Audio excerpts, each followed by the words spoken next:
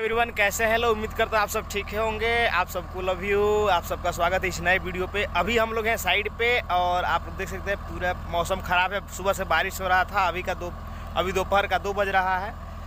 मैं आप लोग को दिखाता हूँ ये पीछे का पर्सन कुछ आखिर बार बार ब्लैंकेट करने के बाद से, पाँच बार ब्लैंकेट करने के बाद भी ऐसा क्यों हुआ कि बार बार इस बेड को खोलना पड़ रहा है?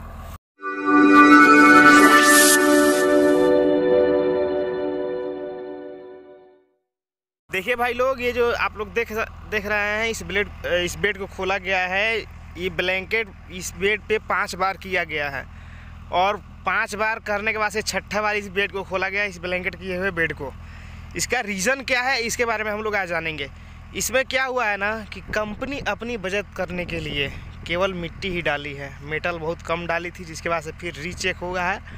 पाँच बार रीचेक हुआ है और पाँचों बार में फेल हुआ है वही कि हम मेटल कम है कम है और बार बार वही काम हो रहा है इस, ऐसे मेटल अलग से डाल के और फिर मिक्स किया जाता है। पहले बेड को हेरो करके खोला जाता है ब्लेड से, फिर मेटल डाला जाता है, फिर मिक्स करके फिर ब्लैंकेट किया जाता है, फिर टेस्ट होता है, फिर फेल हो जाता है। तो अब इसमें कमेंट करके आप लोग बताइए कि इसमें कम, कमी किसकी है इंजीनियरों की कमी है या कंपनी की कमी है?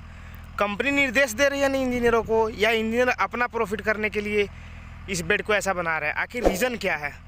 कमेंट करके ज़रूर बताइएगा लोग। चल रहे हैं। यहाँ से फिर 30-35 किलोमीटर दूर।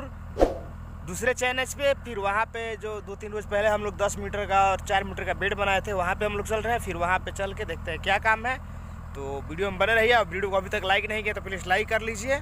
चैनल को सब्सक्राइब नहीं है तो सब्सक्राइब कर लीजिए। आइए चलते हैं दूसरे चैनल पे। आप लोग देख सकते हैं भाई लोग, पूरा ये बेड का जो लंबाई है, दो किलोमीटर है। दो किलोमीटर में पाँच बार ब्लैंकेटिंग हुआ है और पाँच बार खोला गया है और फिर अलग से मेटल डाल के उसको मिक्स किया गया है। आप लोग देख सकते हैं जगह जगह डंपिंग हुआ है पूरे बेड में। और जेसीबी से थोड़ा थोड़ा उठा करके लोडर के माध्यम से और पूरे बेड में डाला जा रहा है। आखिर ऐसा रीजन क्या है कि इतना ऐसा बार बार करना पड़ रहा है? या तो इंजीनियरों की कमी है या कंपनी की चलाकी है। कि हाँ अगर इतना में पास हो गया तो ठीक है, नहीं पास हो तो फिर दोबारा करेंगे। आप लोगों को क्या लगता है? कमेंट करके ज़रूर बताइएगा लोग। अगर दो किलोमीटर बेड को पाँच बार खोला गया है, फिर उसको बनाया गया उसमें डीजल का भी नुकसान हुआ है, कंपनी को, समय का भी लॉस हो रहा है। आखिर कारण क्या है कि ऐसा बार बार हो रहा है? भाई लोग, हम लोग दूसरे चैनल पे, आप लोग देख सकते हैं, पीछे रोलर अपना खड़ा है। इसको रोलिंग कर रहा था और सामने भी मीटिंग डोजिंग वगैरह मैं आप लोग को दिखाता हूँ। आप देख सकते हैं सामने मिट्टी डंपिंग हो रहा है और इसी डोजर से डोजिंग हो रहा है। फिर हम लोग पूरा डंपिंग कंप्लीट हो जाएगा, फिर डोजर डोजिंग कर देगा, फिर हम लोग ग्रेडिंग करेंगे। और फिर रोलिंग होगा काम ही इतना नहीं है ना। एकदम बहुत स्लो काम चल रहा है।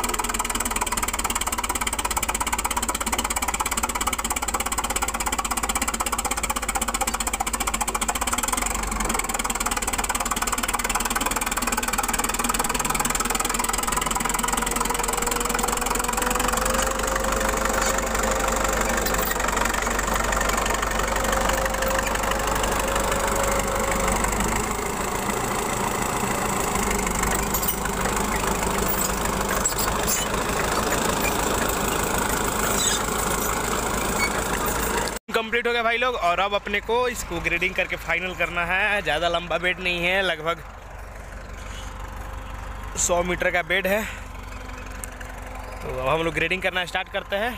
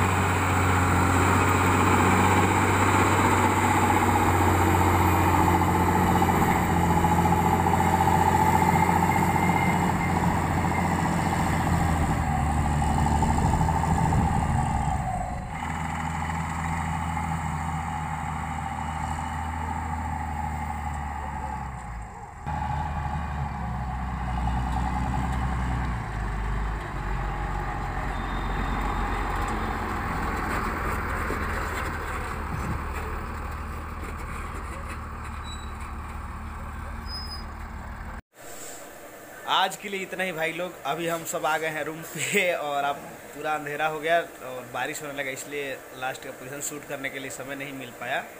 शूट करने जाते तो भीग ही जाते हैं। तो कमेंट करके ज़रूर बताइएगा कि ये वीडियो आप सबको कैसा लगा। और चैनल को सब्सक्राइब नहीं किया तो प्लीज़ सब्सक्राइब कर लीजिए। एक सर्वे के अनुसार मेरे चैनल पे लगभग 50 परसेंट ऐसे लोग हैं जो मेरा हर वीडियो देखते हैं, लेकिन चैनल को सब्सक्राइब नहीं करते। तो आखिर जब देख, वीडियो देखते ही हैं तो सब्सक्राइब करने में क्या जाता है? तो आखिर करना क्या है? सब्सक्राइब कर लीजिए लोग। और मिलते हैं फिर कल एक नए वीडियो के साथ। तब तक के लिए आप सब लव यू। जय श्री राम। जय हिंद।